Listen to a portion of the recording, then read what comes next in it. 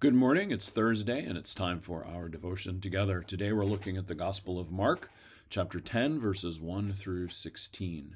Jesus left that place and went beyond the Jordan and into the region of Judea. Crowds gathered around him again, and as usual, he taught them. Some Pharisees came, Pharisees came, trying to test him. They asked, Does the law allow a man to divorce his wife? Jesus answered, What did Moses command you? They said Moses allowed a man to, to write a divorce certificate and to divorce his wife. Jesus said to them, He wrote this commandment for you because of your unyielding hearts. At the beginning of creation, God made them male and female. Because of this, a man should leave his father and mother and be joined together with his wife, and the two will become one flesh. So they are no longer two, but one. Uh, therefore, humans must not pull apart what God has put together. Inside the house, the disciples asked him again about this. He said to them, Whoever divorces his wife and marries another commits adultery against her. And if a wife divorces her husband and marries another, she commits adultery. People were bringing children to Jesus so that he would bless them, but the disciples scolded them.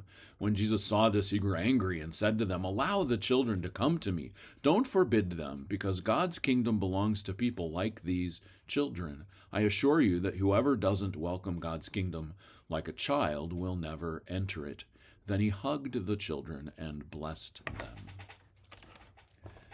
Dun, dun, dun, dun, dun, dun, dun, dun, dun, dun, dun, dun, dun, dun.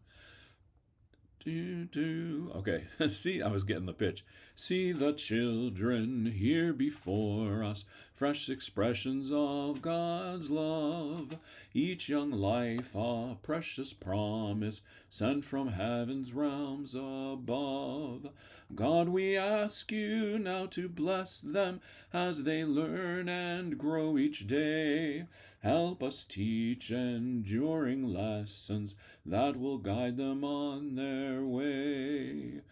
Priceless gifts beyond all measure, all the children in our care.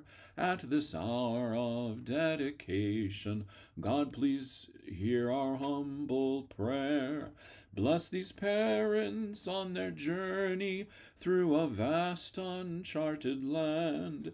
Help them follow as you lead them with a gentle guiding hand. Now the church has come together with a promise we must share to be faithful to the children you entrusted to our care. Let us see your love reflected in each small and precious face. Help us show them all the wonders of your endless love and grace. Amen.